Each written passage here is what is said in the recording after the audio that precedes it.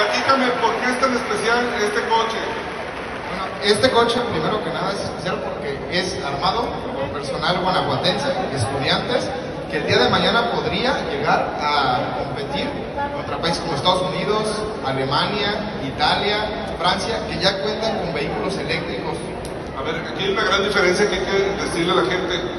Yo he presentado otros vehículos eléctricos en otros informes, que son conversiones, es decir, un vehículo de gasolina, con motor de gasolina, lo reconvierten en uno eléctrico. Este está de cero hecho eléctrico. Desde el diseño, carrocería, todo está hecho por ustedes desde cero el diseño y todo. Así es, justamente mi compañero al hablar de eso. A ver, échale. Sí, bueno, este proyecto inició, como bien menciona, desde cero. Es un vehículo eléctrico, tiene una autonomía de 90 kilómetros y alcanza una velocidad de entre 80 y 85 kilómetros por hora aproximadamente. Muy bien.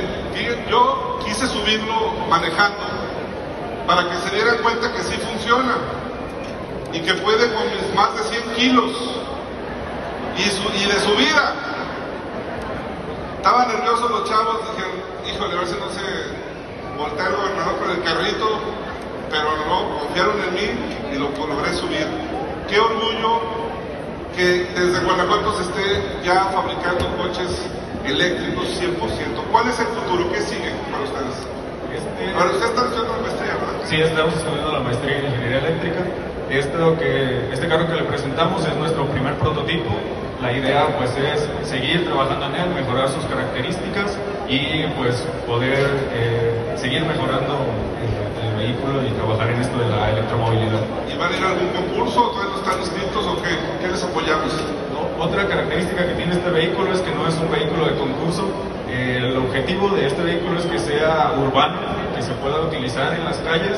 Entonces, ese es a lo que, a lo que queremos llegar. Ustedes aspiran a tener un coche comercial eléctrico 100% guanajuatense. Así es. Un aplauso, qué orgullo, felicidades, enhorabuena. Y pues miren, este es el orgullo de Guanajuato.